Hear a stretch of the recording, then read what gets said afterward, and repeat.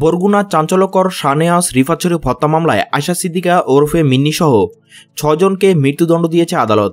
বুধবার রায়ের পর মিন্নি সহ ছয় আসামিকে বরগুনা জেলা কারাগারে কন্ডেম সেলে রাখা হয়।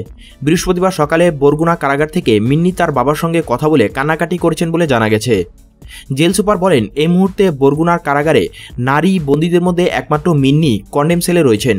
সকাল নয়টায় তার বাবার সঙ্গে কথা বলেছেন। মিন্নি যখন কথা বলেছেন, তখন ফোনের কাছে আমাদের একজন ডিউটি করেন। তিনি বলেছেন, মিন্নি কোনো কান্নাকাটি করেনি। সকাল দশটার সময় অন্য পাঁচজন ফাঁসির আসামিও ফোনে কথা বলেছে। তিনি বলেন, মিন্নি ব্যতীত বরগুনার কারাগারে কর্নেম সেলে এখন অন্য কোনো নারীবন্দী নেই। এছাড়াও রিফাত হত্যা মামলার অপর পাঁচজন দণ্ডপ্রাপ্ত পুরুষ আসামিকেও কন্ডেম সেলে রাখা হয়েছে। এই পাঁচজন ছাড়া বরগুনার কারাগারে কন্ডেম সেলে অন্য কোনো বন্দী নেই। মিন্নির বাবা মোজামেল হোসেন কিশোর বলেন, বুধবার মিন্নিসহ ছয়জনের মৃত্যুদণ্ডের রায়ের পর তাদের বরগুনা কারাগারে নেওয়া হয়। সেখানে তাদের কন্ডেম সেলে রাখা হয়। তিনি বলেন, সকাল দশটার দিকে কারাগার থেকে মিন্নি আমার ও আমার স্ত্রীর সঙ্গে ফোনে কথা বলেছে।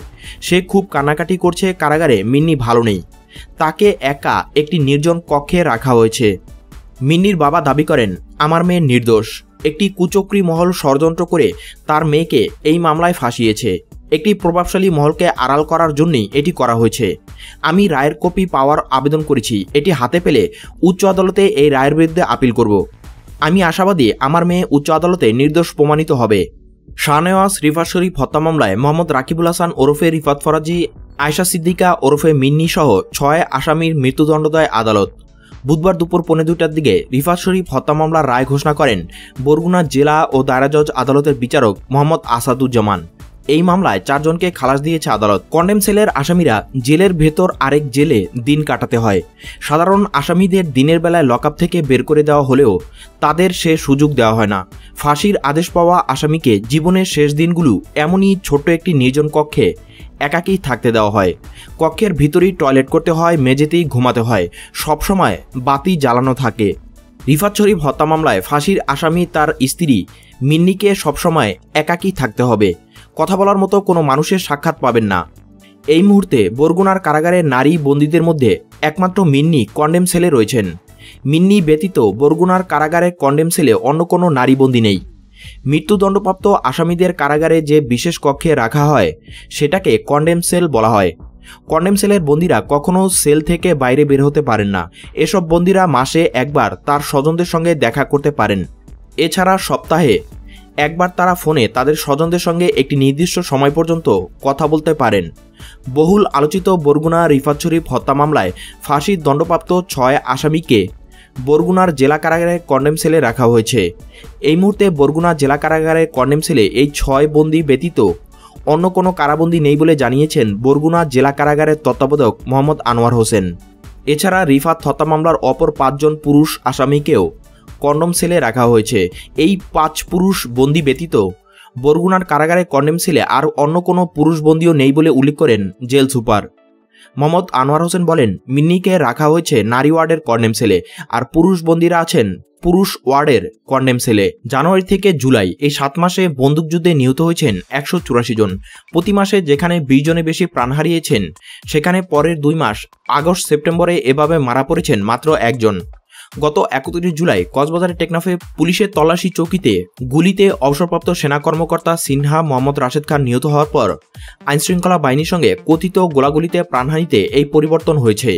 হঠাৎ বন্দুকযুদ্ধ থমকে যাওয়া নিয়ে পুলিশের সাবেক একজন আইজিপি বলছেন, নানা সময় বিভিন্ন ব্যক্তি আইনশৃঙ্খলা বাহিনীর কর্মকর্তাদের কাছে গিয়ে সন্ত্রাসী অপরাধীদের বন্দুকযুদ্ধে মারা যাওয়ার পক্ষে বলেন কিন্তু পুলিশ বিপদে পড়লে কেউ পাশে থাকে না। এ থেকে বন্দুকযুদ্ধ যে ভালো নয়, সেই উপলব্ধি আইনশৃঙ্খলা বাহিনীর হয়েছে বলেই ধারণা তার। বাংলাদেশে জঙ্গি সন্ত্রাসী মাদক কারবারিদের কথিত এই বন্দুকযুদ্ধে মৃত্যুর ঘটনা চলে আসছে অনেক বছর ধরে। এ নিয়ে দেশি, বিদেশি মানবাধিকার সংস্থাগুলো উদ্বেগ প্রকাশ করে এলেও আইনশৃঙ্খলা বাহিনী সবসময় বলে আসছে, বিচার বহির্ভূত হত্যার পক্ষে তারা নন। কেবল আক্রান্ত হলেই গুলি ছোড়েন তারা। সেরকমই একটি ঘটনায় গত একত্রিশ জুলাই কোরবানি ঈদের আগে রাতে কক্সবাজারের বাহারছড়া ইউনিয়নের সামলাপুর চেকপোস্টে পুলিশের গুলিতে নিহত হন অবসরপ্রাপ্ত মেজর সিনহা। ভ্রমণ বিষয়ক তথ্যচিত্র নির্মাণের জন্য তিনি কক্সবাজারে গিয়েছিলেন দুই সঙ্গীকে নিয়ে। কক্সবাজারের পুলিশ সে সময় বলেছিল, সিনহা তার পরিচয় দিয়ে তল্লাশিতে বাধা দেন, পরে পিস্তল বের করলে চেকপোস্টের দায়িত্বরত পুলিশ তাকে গুলি করে। কিন্তু পুলিশের দেওয়া ঘটনার বিবরণ নিয়ে প্রশ্ন উঠলে স্বরাষ্ট্র মন্ত্রণালয় গত দোসরা আগস্ট উচ্চ পর্যায়ের এই তদন্ত কমিটি গঠন করে। পুলিশের বিরুদ্ধে বিচার বহির্ভূত হত্যার অভিযোগগুলো নতুন করে আলোচনায় আসতে থাকে। সিনহার বোন আদালতে হত্যা মামলা দায়ের করলে বারছড়া পুলিশ তদন্ত কেন্দ্রের পরিদর্শক লিয়াকত আলী এবং টেকনাফ থানার ওসি প্রদীপ কুমার দাস সহ সাত পুলিশ সদস্য আদালতে আত্মসমর্পণ করেন। তাদের চাকরি থেকে সাময়িক বরখাস্ত করা হয়। ওই পুলিশ সদস্যরা এখন হত্যা মামলার বিচারের মুখোমুখি। এছাড়া এই ঘটনার পর কক্সবাজারে পুলিশকে নতুন করে সাজানো হয়। এসপি থেকে শুরু করে প্রায় সব কর্মকর্তাকে সেখান থেকে সরিয়ে দেওয়া হয়। ওই ঘটনার পর শুধু আগস্টের প্রথম দিকে সিলেটের জকিগঞ্জে পুলিশের সঙ্গে কথিত বন্দুকযুদ্ধে একজন নিহত হয়েছেন। এরপর গত দুই মাসে বন্দুকযুদ্ধ শূন্যের কোঠায় নেমে এসেছে। মানবাধিকার সংস্থা আইন ও সালিশ কেন্দ্রের তথ্য অনুযায়ী, এবছরের প্রথম সাত মাসে পুলিশ, র্যাব, ডিবি ও বিজিবির সঙ্গে বন্দুকযুদ্ধে একশো চুরাশি জন নিহত হয়। এদের মধ্যে জানুয়ারিতে বন্দুকযুদ্ধে নিহত হয়েছে একুশ জন, পরের মাসে বন্দুকযুদ্ধ হয়েছে বাইশটি, মার্চ মাসে পঁচিশটি। করোনা ভাইরাস সংক্রমণ রোধে কর্মসূচি নিয়ে পুলিশ যখন ব্যস্ত, সেই এপ্রিল মাসে বন্দুকযুদ্ধ কমে আসে পনেরোটিতে। পরের মাসে, অর্থাৎ মে মাসে সাতাইশটি, জুনে সাতাইশটি এবং সিনহা যে মাসে নিহত হন, সেই জুলাইয়ে এবছরের সর্বোচ্চ বন্দুকযুদ্ধের ঘটনা ঘটে। মৃত্যু হয় সাতচল্লিশ জনের। শুক্রবার গোটা বিশ্বে যে খবরটি নিয়ে সবচেয়ে বেশি আলোচনা হয়েছে, সেটি হলো মার্কিন প্রেসিডেন্ট ডোনাল্ড ট্রাম্প এবং ফার্স্ট লেডি মেলানিয়া ট্রাম্পের করোনা পজিটিভ শনাক্ত হওয়া। এই খবর ছড়িয়ে পড়ার পরে ভারতের প্রধানমন্ত্রী নরেন্দ্র মোদী, পাক প্রধানমন্ত্রী Imran Khan, British prime minister Boris Johnson থেকে রুশ প্রেসিডেন্ট ভ্লাদিমির পুতিন পর্যন্ত মার্কিন প্রেসিডেন্টের আরোগ্য কামনা করেছিলেন। শুধু নিরূপ ছিলেন চীনা রাষ্ট্রপ্রধান। চীনের রাষ্ট্রীয় গণমাধ্যম বিদ্রুপ করেছিল ট্রাম্পকে। অবশেষে শনিবার এ বিষয়ে মুখ খুললেন চীনা রাষ্ট্রপতি শি জিনপিং। এদিন শি জিনপিং ও কোভিড নাইন্টিন আক্রান্ত ডোনাল্ড ট্রাম্প ও তার স্ত্রী মেলানিয়া ট্রাম্পের দ্রুত আরোগ্য কামনা করেছেন। এমনটাই জানানো হয়েছে চীনা রাষ্ট্রীয় টেলিভিশনে।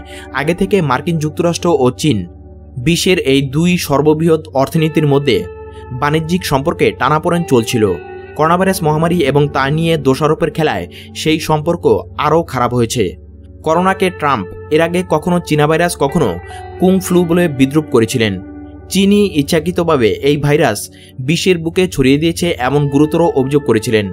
শুক্রবার তার আক্রান্ত হবার খবর ছড়িয়ে পড়লে চীনার সরকারি সংবাদপত্র গ্লোবাল টাইমসের সম্পাদক হু জিজিন ট্রাম্পের নাম করে টুইট করে বলেন, ডোনাল্ড ট্রাম্পকে কোভিড নাইন্টিন নিয়ে জুয়া খেলার মূল্য চোকাতে হচ্ছে। তিনি আরও বলেন, এই ঘটনা মার্কিন যুক্তরাষ্ট্রে মহামারীটির তীব্রতাকে প্রকাশ করে দিয়েছে। মার্কিন প্রেসিডেন্ট আক্রান্ত হলে সকলেই আক্রান্ত হতে পারেন। সেই সঙ্গে তিনি আরও বলেন, এই ঘটনায় ট্রাম্প এবং মার্কিন যুক্তরাষ্ট্রের ভাবমূর্তি খারাপ হবে এমনকি ট্রাম্পের পুনর্নির্বাচনের উপরও তার কোভিড আক্রান্ত হওয়া নেতিবাচক প্রভাব ফেলতে পারে বলে মত প্রকাশ করেছিলেন তিনি। প্রেসিডেন্ট ট্রাম্পের বয়স এখন চুয়াত্তর। সেই সঙ্গে তার উচ্চ রক্তচাপ ও অতিরিক্ত ওজনের সমস্যা রয়েছে। তাই করোনাভাইরাসে তার প্রাণহানির ঝুঁকি রয়েছে। তবে এখনও তার কিংবা মেলানিয়া ট্রাম্পের শরীরে কোনো কোভিড উপসর্গ নেই বলে জানিয়েছে হোয়াইট হাউস।